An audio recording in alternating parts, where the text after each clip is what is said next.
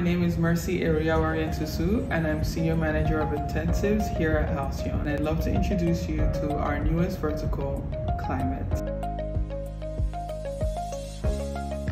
Halcyon's climate programming supports social impact entrepreneurs addressing pressing climate challenges through solutions in renewable energy, green building, climate smart agriculture, and so much more. In 2024, Halcyon is offering three climate specific programs our Latin America and the Caribbean Climate Fellowship, our Africa Climate Fellowship, and our Climate Residential Program. Our Climate Fellows receive specific skill series on topics such as policy and regulation and climate impact measurement, all the while being connected with key players in the climate space. Halcyon Fellows in the climate sector are building next generation electric vehicle charging stations, transforming party cups and plastics into sustainable fabrics, restoring and regenerating ocean ecosystems, and harnessing other unique innovations to create climate impact. Halcyon's climate-focused work continues through the Nairobi Climate Hub, launched in collaboration with the Office of Global Partnerships at the U.S. State Department, Sandbox International, and Kenyatta University.